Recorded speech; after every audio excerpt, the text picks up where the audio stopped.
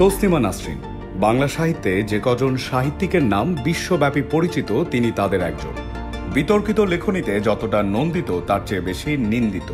লেখালেখির জন্য দেশ ছাড়তে বাধ্য হয়েছেন। বেছে নিতে হয়েছে নির্বাসিত জীবন।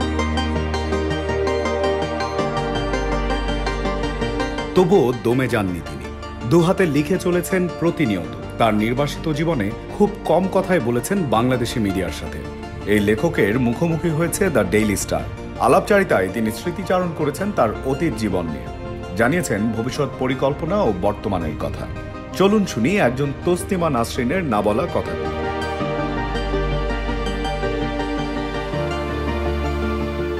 প্রতিবাদ না করে আমি থাকতে পারি না। আমার মনে হয় যে আমি অন্যায় করছি, আমি যদি প্রতিবাদ না করি। আঠাশ বছর আগে আমাকে দেশ থেকে বের করেছে এখনও আমাকে দেশে ফিরতে দেয় না কোনো সরকার। এত সমস্যা, এত অন্যায়, এত বাকস্বাধীনতার অভাব, এত গণতন্ত্র বলতে কিছু নেই।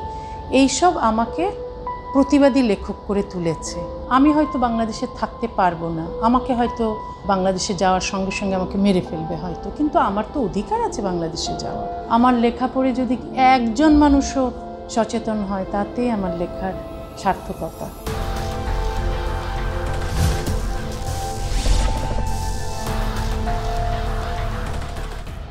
আপনার দিন কাটে কীভাবে? সকাল থেকে সকাল থেকে ভেবে ভেবে লিখে পড়ে একটাই না আলাদা কোনো রুটিন করে নয়?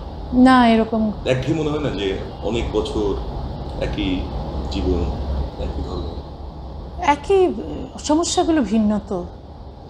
এই জন্য, এই, তাই এই জন্য আমার মনে হয় না যে আমি একই সমস্যা নিয়ে লিখছি।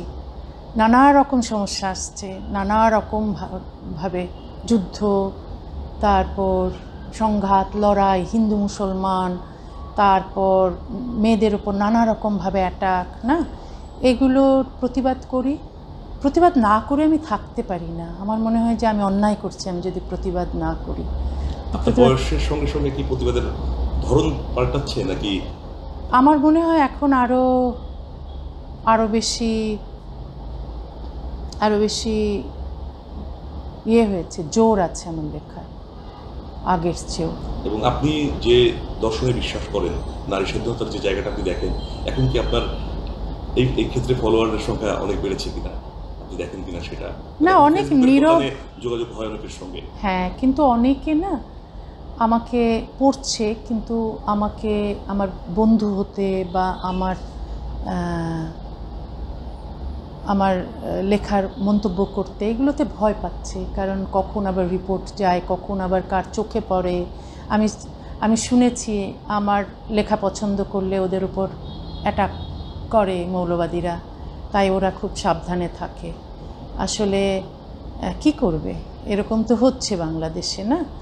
তো তবে প্রচুর প্রচুর মেয়ে, ছেলে, আমি বলব না শুধু মেয়ে, প্রতিবাদী হচ্ছে, আমাকে পাবলিকলি সাপোর্ট করছে, এরকম তো সাহসী মানুষ আছে।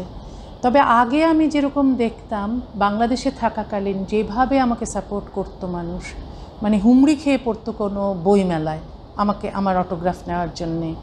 এখন তো আমি বইমেলাগুলোয় যেতে পারি না। বাংলাদেশের বইমেলা আমি মিস করি আমি কলকাতার বইমেলা মিস করি। মানে বাংলা বইয়ের মেলাটা আমি মিস করি। সেখানে আমি বাঙালি পাঠকের মুখোমুখি হতে পারি না। আমি ওয়ার্ল্ড বুক ফেয়ার বা দিল্লি বুক ফেয়ারে আমি যাই বটে কিন্তু ওরা আমার হিন্দি বইয়ের পাঠক বা আমার ইংরেজি বইয়ের পাঠক আমার সরাসরি মানে বাংলা বইয়ের পাঠক নয়। না সেটা আমি মিস করি কিন্তু কি করব? দেখুন সরকারগুলো তো এরকম। মানে আমি ভালো কথা বলছি, আমি সমাজ সচেতনতার কথা বলছি, আমি আমি একটা উন্নত সমাজ চাইছি, একটা সভ্য সমাজ চাইছি, সভ্য দেশ চাইছি, আমি মানবতার কথা বলছি, আমি মানববাদী হতে বলছি মানুষকে। সেখানে মানে নারীর সমানাধিকার চাইছি। এর চেয়ে ভালো কী আছে? একটা সুস্থ সমাজ চাইছি। সেইখানে আমাকে বয়কট করা, আমাকে নির্বাসনে পাঠানো, আমাকে ব্যান করা সেন্সর করা চলছেই। এই সময় আমি জানি না অন্য কোনো মানুষ কি করতো। অন্য কোনো মানুষ হয়তো লেখা ছেড়ে দিত বা কিছু একটা করতো অন্য কিছু করতো কিন্তু আমি ছাড়িনি। আমার মনে হয়েছে যে না আমি আমার লেখা পড়ে যদি একজন মানুষও সচেতন হয় তাতেই আমার লেখার সার্থকতা। বাংলাদেশে এই প্রজন্মের যারা লেখক আছে এবং কারও লেখা পড়া হয় জানেন তাদের সম্পর্কে এখন তো আমি যেহেতু বাংলাদেশে থাকি না কারও লেখা পড়া হয় না তো ফেসবুকের মাধ্যমে আমি যতটুকু পাই যা পাই আমি তাদের লেখা পড়ি। বিশেষ করে যারা যারা সচেতন, যারা যারা প্রতিবাদ করছে, যারা অন্যায়ের প্রতিবাদ করছে, যারা ফেসবুকে আমি দেখছি যা বাংলাদেশে যে এত অন্যায় চলছে, এত দুর্নীতি চলছে, এত নারী বিদ্বেষ চলছে, এত ধর্মান্ধতা চলছে, এদের বিরুদ্ধে যারা প্রতিবাদ করে, তাদের লেখা আমি পড়ি, নিয়মিতই পড়ি। আপনি যখন লেখালেখি শুরু করেন, নির্বাচিত কলাম যখন লিখেন বা বিভিন্ন পত্রিকায় কলাম লিখতেন, ওই সময় নারীরা অতটা লিখতেন না। তো এখন কিন্তু অনেকেই লিখছেন। তো এটা কি হ্যাঁ। নারীদের মানে কাজ করার সুযোগ বেড়েছে বলে মনে করেন কিনা? না সেটা অনেকে অনেকে বলে যে অনেকে আমার লেখাগুলোই নিজের ভাষায় লিখছে। সেটা আমার জন্য খুব আনন্দের বিষয় যে আমি অন্তত কিছু মানুষকে তো প্রভাবিত করতে পেরেছি। আমার লেখা পড়ে যারা জেগেছে যারা সচেতন হয়েছে যারা শিক্ষিত হয়েছে সেটা খুবই ভালো। তো অনেক অনেক মেয়েরাই লিখছে এবং তারা বেশ সচেতন। এই জিনিসটা আগে ছিল না। আমি একা ছিলাম বলে আমার উপর সমস্ত অন- অন্যায়, অত্যাচার আমাকে টার্গেট করা হয়েছে তখন। এবং আমি একা হয়ে গিয়েছিলাম, কারণ আমার মতো করে আর কেউ বলতো না তখন। এখন আমার মতো করে বলার অনেক শুধু নারীই নয়, পুরুষও আছে। পুরুষ লেখক বা ব্লগার বা যারা এখন ফেসবুকে লিখছে এদের অনেকেই আমি দেখছি যে সেই আমার কথাগুলো আমার মতবাদগুলোই তারা গ্রহণ করেছে এবং তারা প্রচার করছে। সেটা তো আনন্দের বিষয় আমার জন্য। আগে রাষ্ট্র সেন্সরশিপ করতো। এখন সোশ্যাল মিডিয়াতেও দেখা যায় যে সেন্সরশিপের ব্যাপারটা তৈরি হচ্ছে। আপনার একটা পোস্টের জন্য আপনাকে এক সপ্তাহের মতো এক সপ্তাহ না আবার আরও অনেক হয় না। এক মাস দু মাস তিন মাস হ্যাঁ। সেটা রিপোর্টের ভিত্তিতে। এখন সমস্ত ধর্মান্ধ মৌলবাদীরা রিপোর্ট করে। আমার, আমাকে যেন মানে ফেসবুক থেকে সরিয়ে দেওয়া হয় বা আমাকে যেন আমাকে যেন ব্যান করা হয়। তো আমার খুব অবাক লাগে যে আমরা যারা আমাদের বই বা আমাদের লেখালেখি সব সেন্সর্ড হচ্ছে ব্যান্ড হচ্ছে, কিন্তু ফেসবুকটা হচ্ছে আমাদের জায়গা। ওখানে আমরা নিজের মত প্রকাশ করতে পারি নির্দ্বিধায়। সেখানেও দেখি অসুবিধে। সেখানেও এই এই ধর্মান্ধগুলোর রিপোর্টের কারণে বা এই পুরুষতান্ত্রিক লোকগুলো বা রক্ষণশীল লোকগুলো বা নারী বিদ্বেষী লোকগুলো রিপোর্টের কারণে ফেসবুক আমাদের ব্যান করে। সেটা তো সেটা তো ভালো নয় না? এখন আমাদের জায়গা কোথায়? যারা আমরা বাকস্বাধীনতায় বিশ্বাস করি, যারা এইসব ধর্মীয় মৌলবাদীর সমালোচনা করছি বা পুরুষতন্ত্রের সমালোচনা করছি, তাদের যদি জায়গা না থাকে, তাহলে তাহলে কীভাবে চলবে? তো এই জন্য মানে অনেকে খুব বুঝে শুনে লেখে কারণ তাদের লেখা আবার তাদের লেখার কারণে তারা ব্যান্ড হয়ে যাবে ফেসবুকে টুইটারে এ- এইটা না হওয়া উচিত। এটা আমাদের একটা বাক স্বাধীনতা লেখকের বা সব সব মানুষেরই বাক স্বাধীনতা থাকা উচিত সবারই। একজন লেখকের যে স্বাধীনভাবে লেখার যে জায়গাটা ওটা এখন বর্তমান সময়ে পৃথিবীতে আসলে কতটা শুনুন সব লেখকের তো বাক স্বাধীনতার দরকার নেই। যাদের বাকস্বাধীনতা কেড়ে নেওয়া হয় তাদের দরকার। প্রচুর ক খ গ উম লেখক আছে। যারা প্রেমের গল্প লেখে, যারা সুন্দর সুন্দর কবিতা লেখে, প্রকৃতি নিয়ে লেখে, তাদের তো অসুবিধে হয় না। তাদের কেউ ব্যান করে না। তাদের উপর কেউ, তাদের উপর, তাদের বিরুদ্ধে কেউ ফতোয়া দেয় না। তাদের মাথার দাম ঘোষণা হয় না। তাদের উপর অ্যাটাক হয় না। তাদেরকে কোপানো হয় না। তাদেরকে দেশ ছাড়তে হয় না। দেশ ছাড়তে বাধ্য করা হয় না। সুতরাং তাদের বাকস্বাধীনতার কোনো দরকার নেই। বাকস্বাধীনতা দরকার আমাদের মতো লোকের, যারা আমরা ভিন্ন আমরা ভিন্ন মত প্রচার করছি।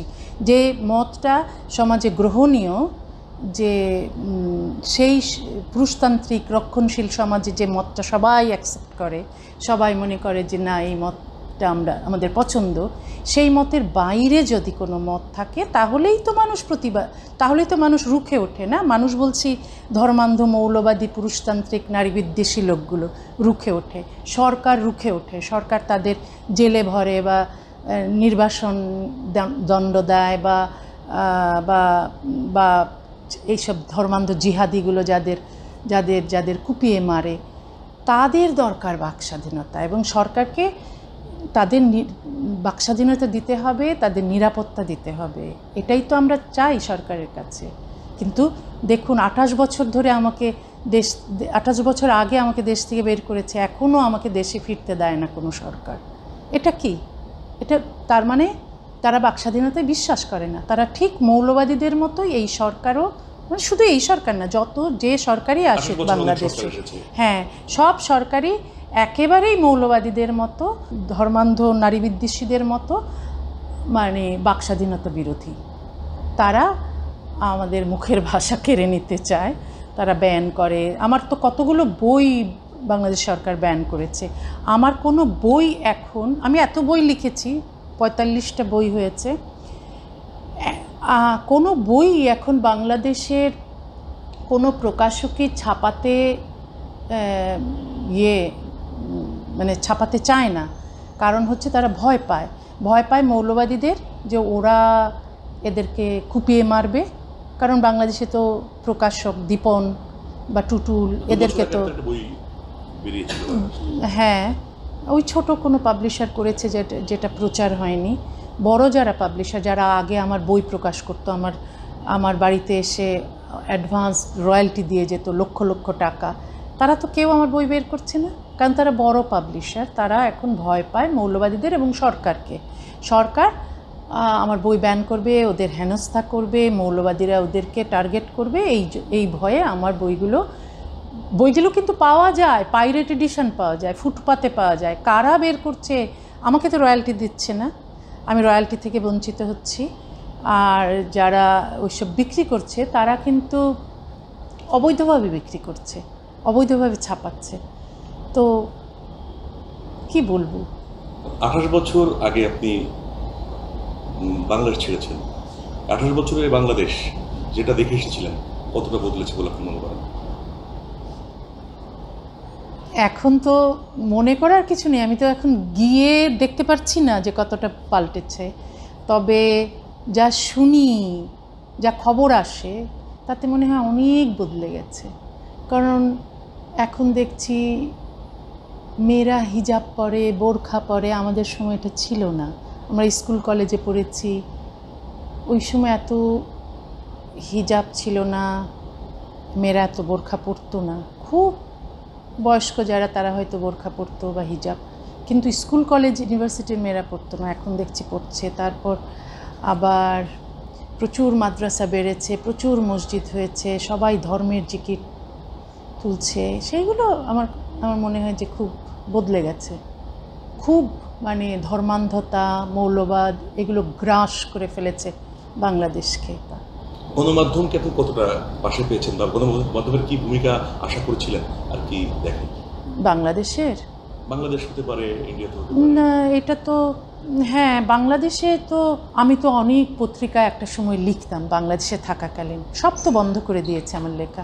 তাছাড়া অন্যান্য গণমাধ্যম তো একেবারে ভয় পায় আমাকে ভূত দেখার মতো চমকে ওঠে। ভারতের কিছু হ্যাঁ ভারতের বাংলা বিশেষ করে বাংলায়। তবে কিছু কিছু মাঝে মধ্যে মাঝে মধ্যে একটু সাহসী হয় কিছু কিছু কিছু গণমাধ্যম। তবে বেশিরভাগ বড় গণ মাধ্যমগুলো এরকম। তবে বিশেষ করে বাংলা। তো সেই জন্য আমি হতাশ নই আমি হতাশ নই। খুব ভালো যে এখন আমাদের সোশ্যাল মিডিয়া আছে।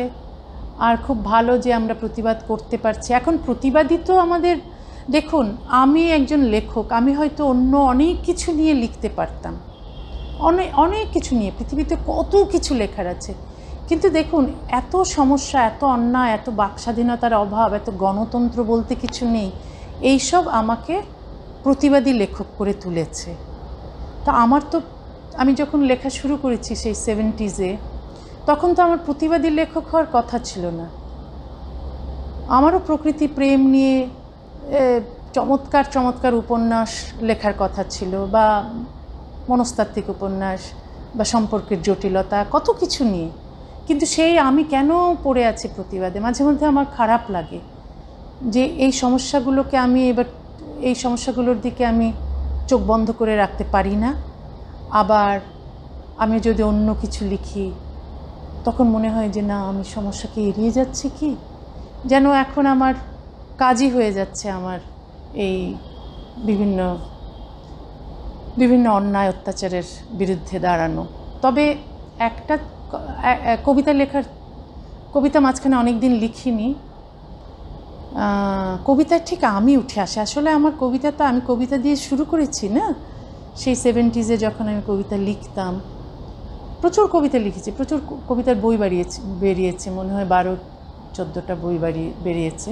তারপর মাঝখানে এই কলাম লিখতে গিয়ে এই প্রবন্ধ লিখতে গিয়ে আমার কবিতাগুলো কবিতা লেখা বন্ধ ছিল কিন্তু এখন আবার শুরু করেছি। বেশ কিছু কবিতা লিখেছি ওগুলো এক এক করে ছাপা হচ্ছে বিডি নিউজে। ওটা জাস্ট একটা চিঠি কিন্তু ওটা আমার ছোট গল্পের বই আছে যে কি নাম? দুঃখবতী মেয়ে। ওখানে ছাপা হয়েছিল উনিশশো তিরানব্বই সালে। সেটা আমি দেখছি যে খুব অনেকে পড়ে। হ্যাঁ। পড়ে প্রচুর কবিতাও আবৃত্তি করে ইউটিউবে। ইউটিউবের কল্যাণে আমি জেনেছি মানুষ ভালোবাসে আমার কবিতা। প্রচুর কবিতা আবৃত্তি করে মানুষ।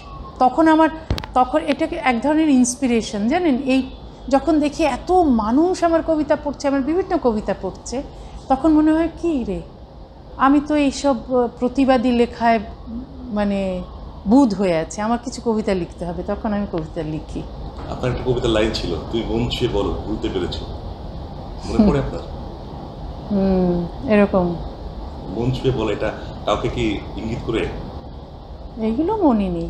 শুনুন কবিতা এইসব কাউকে নিয়ে হয়তো লিখি পরে এগুলো আর মনে থাকে না। পরেও পরে ওগুলো সবার জন্যই হয়ে যায়। একান্ত নিজেরই হয়ে যায়। যে ভারতে এসেছিলেন। সেখান থেকে দু হাজার বাইশের ভারত। এখানে কতটা চেঞ্জ দেখেন? ভারতেও তো আমাকে খুব স্ট্রাগল করতে হয় না? হ্যাঁ আওরঙ্গাবাদে আমার আমাকে ঢুকতে দেয়নি কারণ ওখানে মুসলিম মৌলবাদীরা আমার মানে আওরঙ্গবাদে যাওয়ার বিরুদ্ধে মিছিল করেছে। তাই পুলিশ আমাকে বলেছে না তোমার যাওয়া চলবে না। কারণ তারা এয়ারপোর্ট ঘেরাও করেছিল। ওই হায়দ্রাবাদে যারা আমাকে অ্যাটাক করেছিল এমআইএম এর লোকেরা ওরাই আওরঙ্গাবাদে আমাকে ঢুকতে দেয়নি। আমি ইলোরা অজন্তা দেখতে চেয়েছিলাম। তারপর কলকাতা থেকে বের করে দিল। তারপর আরও কত কিছু আমার বই, আমার আমার যে বই ব্যান হয়েছিল বাংলা ইয়েতে পশ্চিমবঙ্গে, সেইটা পশ্চিমবঙ্গ সরকার, কমিউনিস্ট সরকার, সিপিআইএম করেছে। সেইটা তো হাইকোর্ট দু বছর পর মুক্তি দিল, সেই বইকে, দ্বিখণ্ডিত নাম। তারপর ধরুন মমতা ব্যানার্জি এসে আমাকে তো ঢুকতে দেয় না কলকাতায় বা পশ্চিমবঙ্গে। মমতা ব্যানার্জি আমার দুঃসহবাস নামে একটা মেগা সিরিয়াল ছিল, সেটা বন্ধ করে দিয়েছে। আর আমার যে বই উদ্বোধনের কথা ছিল নির্বাসন নামে, সেইটা ক্যান্সেল করে দিয়েছে, আর আমাকে ঢুকতে দেয় না। এইসব চলছে। এইসবের মধ্যেই আছি। চারদিকে ব্যান এবং সেন্সরশিপ ওগুলোর মধ্যেই আছি এবং প্রতিবাদ করে যাচ্ছি। কোনো অন্যায়ের কিন্তু, অন্যায় দেখে আমি মুখ বুজে থাকি না। প্রতিবাদ করি। সে বাংলাদেশে হোক, পশ্চিম পশ্চিমবঙ্গে হোক অথবা ভারতের অন্যান্য অন্যান্য রাজ্যে রাজ্যে হোক বা পৃথিবীর যে কোথাও হোক যেখানেই অন্যায় হচ্ছে আমি প্রতিবাদ করছি আমার মতো। লেখার মাধ্যমে? আপনার- যেহেতু আমি লেখক আমি তো পথে নামি না। শাহবাগ বা ইন্দিরা রোড ওই সময়ের যে সময়গুলো এখন কি মনে পড়ে? তো কেন পড়বে না? আমি শান্তিনগরে থাক প্রথমে শান্তিবাগে ছিলাম প্রথমে আরমানি টোলায়। এরপর শান্তিবাগে, এরপর শান্তিনগরে তো আমি বাড়ি কিনেছিলাম, ফ্ল্যাট কিনেছিলাম। ফ্ল্যাটটায় কতদিন? ছ মাসও হয়তো থাকতে পারিনি, চলে আসতে হয়েছে। এত, তখন আমি মিডফোর্ডে হসপিটালে চাকরি করতাম। এরপর তো আমি যখন চাকরি ছেড়েছি, তখন আমি ঢাকা মেডিকেল কলেজ হাসপাতালে চাকরি করি। লেখালেখি বন্ধ করে দেবে, সরকার এরকম একটা ইঙ্গিত দিয়েছিল। তখনই আমি ঢাকা মেডিকেল কলেজ হাস- হাসপাতালে আমি তখন অ্যানেস্থিসিয়া বিভাগে চাকরি করি তখন চাকরি ছেড়ে দিলাম। এই যে ফিরতে চান মানে কোন টানটা অনুভব করেন বাংলাদেশে? না ওটা আমার দেশ আমি বাংলাদেশে জন্মেছি ওখানে আমার আত্মীয় স্বজন বন্ধু বান্ধব সব ছিল আমার স্মৃতি তো বাংলাদেশের না। আর আমি আমার দেখুন আমি হয়তো বাংলাদেশে থাকতে পারব না আমাকে হয়তো বাংলাদেশে যাওয়ার সঙ্গে সঙ্গে আমাকে মেরে ফেলবে হয়তো কিন্তু আমার তো অধিকার আছে বাংলাদেশে যাওয়ার। আমার অধিকার লঙ্ঘন করার সরকার কে?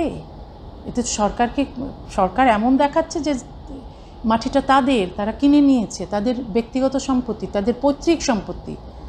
কিন্তু না, এটা তার, তাদের পৈতৃক সম্পত্তি নয়। এটা বাংলাদেশের যারা নাগরিক, যারা আমরা জন্মেছি, বড় হয়েছি বাংলাদেশে, বাংলাদেশ তাদের, আমাদের। আমরা বিশেষ করে আমরা যারা ভালোবাসি বাংলাদেশকে, আঠাশ বছর আমাকে বাংলাদেশে ঢুকতে দেয় না, কিন্তু আমি বাংলাদেশের মঙ্গল নিয়ে, মঙ্গল চিন্তা করি বাংলাদেশের কীভাবে ভালো হবে দিনরাত ভাবছি লিখছি।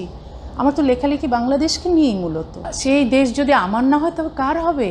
যারা ওই বাংলাদেশের যারা ক্ষতি চাইছে যারা বাংলাদেশকে একেবারে অন্ধকারে নিয়ে যেতে চাইছে হ্যাঁ, যারা নারীর অধিকারে সমান অধিকারে বিশ্বাস করে না যারা মানবতায় বিশ্বাস করে না যারা যারা সমাজ সমতায় বিশ্বাস করে না তারাই তো বাংলাদেশের এখন ক্ষমতায়।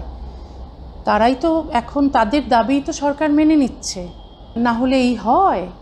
মাদ্রাসার লোকেরা কি করছে? আজকে মাদ্রাসার লোকেরা ওখানে ওখানে দুর্নীতি করছে, ধর্ষণ করছে, শিশু ধর্ষণ করছে, শিশু হত্যা করছে হ্যাঁ মাদক ব্যবসা করছে এবং এরা সমাজকে পিছিয়ে পেছনে নিয়ে যেতে চাইছে এবং তাদের সমস্ত দাবি সরকার মেনে নিচ্ছে। তার মাদ্রাসার ডিগ্রিকে সরকার বিশ্ববিদ্যালয়ের ডিগ্রি সমতুল্য করে দিয়েছে, কতটা ওদেরকে আশকারা দিয়েছে। এখন ওরা সমাজকে মানে পেছনে টানছে, আর যারা আমরা সমাজের ভালো চিন্তা করছি, তারা হয় আমরা দেশের বাইরে, হয় আমরা জেলে, নয়তো নির্বাসনে, নয়তো আমরা ওদের কুপিয়ে মেরে ফেলা হয়েছে। সরকার কি করছে? কিচ্ছু করছে না এবং এই মৌলবাদীদের সমর্থন করছে। আপনার আহ, ময়মনসিংহের বাড়ি নিয়ে বাড়ি করতে ফিরতে ইচ্ছা করে এখন না আসলে কি জানেন বাড়ি গাছপালা নদী এইসব কিছু নয়। মানুষ হচ্ছে বড়। মানুষ হচ্ছে দেশ।